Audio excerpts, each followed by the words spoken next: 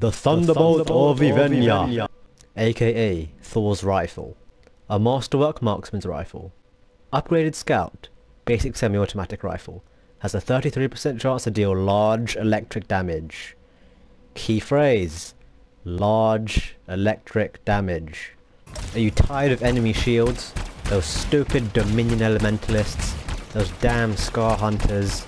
Anything with that blue bar above their head that just never seems to freaking go down? No problem with this gun.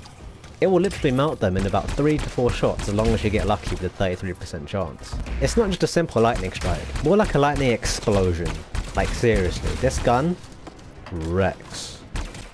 With a steady rate of fire and occasional lightning blasts, this gun delivers massive damage in a short amount of time. Not to mention the animation for the lightning strikes is sick.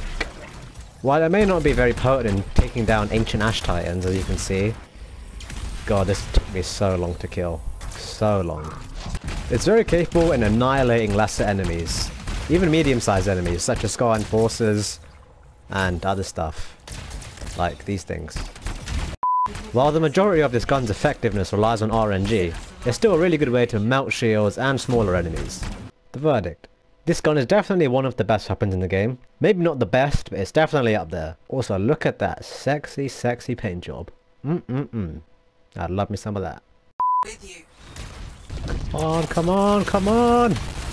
Die, motherfucker, die! Oh, hell yeah! Let's go!